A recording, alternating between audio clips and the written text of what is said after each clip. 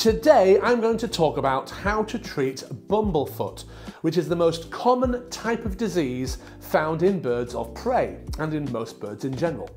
Now prevention is always better than the cure and in my other videos I often talk about how to prevent getting bumblefoot in the first place. However, in this video I will tell you exactly how to treat bumblefoot yourself at home without having to visit or pay for a vet, hopefully. But firstly, what is bumblefoot? Well, bumblefoot is the common term used for an infection in the bird's feet.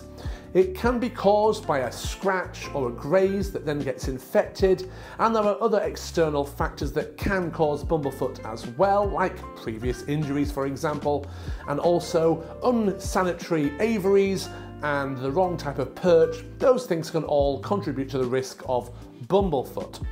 There are three stages of bumblefoot. Now, stage one is a small black or red mark, a little circle, which is the beginnings of the infection, and this is the type that can be treated yourself at home.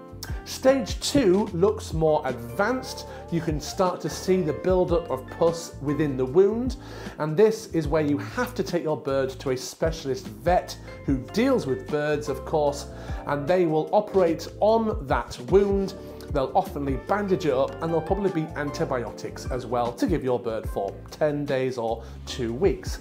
You really want to avoid that because it's going to be expensive, it's a trip out to the vet you don't want to have to do, it's not going to be pleasant for the bird at all, and it can even cause problems further down the line for your bird, even once it's all healed up.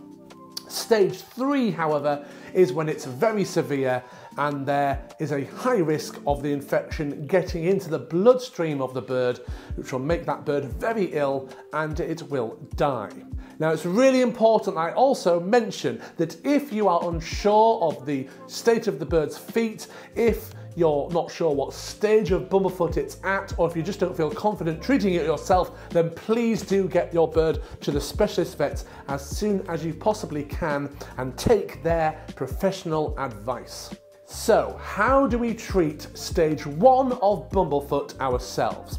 Right, we're going to need a few things. We're going to need a couple of towels, a perch, which you should already have for your bird, uh, a box is good as well for your bird. We're also going to need some sponges, access to fresh water, of course, and some antibacterial creams and sprays. I highly recommend F10. This comes in different forms as well. Really good for treating infections. I've used this to cure infections on birds before, even an infection on a snake's skin as well, very successfully. And I also recommend recommend alternatives like this one, which is a spray, which can be found in most pet shops actually, and that's also another good antibacterial solution. So the first thing we need to think about is keeping our bird light. So we're going to keep it at flying weight. If it's not already at flying weight, gradually bring its weight down over a few days until it's at flying weight and you want to be flying that bird every day as well. You want to fly it as much as you sensibly can so it gets the most exercise it can. This will be really good for the bird's health and it will help with the healing up of the bumblefoot as well. Also, keeping the bird light will mean it's putting less weight on the feet. Now, when it comes to birds of prey, they will stand most of their lives. And of course, you probably already know that when they sleep, they'll lift one leg in the air and they'll at some point swap over. They have that kind of two-sided thing going on. Now, sometimes if a bird gets a poorly foot in some way and it's a bit painful, it will keep that one in the air and the other foot, the good foot, will be stood on for the majority of the time. And that's where sometimes the good foot can then get bumblefoot as a result. So we want to be thinking not just keeping our bird light, but we want to also ensure that we're thinking evenly with the feet. So we're going to treat both feet the same, even if only one foot has the bumblefoot on it. So when it comes to the perch, we want to put it on a soft perch so the best trick is to wrap a towel around the perch, just like you can see the hawk is sitting on here. And that's a great way for it to rest. We do not want to be using a rubber moulded perch, nor do we want to be using original AstroTurf or any other AstroTurf for that matter on, on this occasion. That type of AstroTurf is great to avoid bumblefoot, but it's not so good when the bird is healing from bumblefoot. So we're keeping it as soft and as padded as possible and the bird's nice and light.